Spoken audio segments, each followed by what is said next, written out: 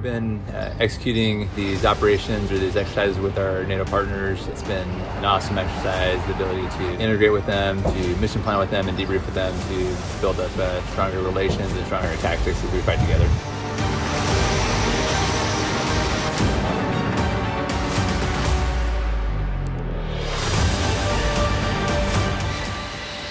We have a total of 18 F-16s out here. We have approximately 330 personnel, and we've flown about 350 sorties.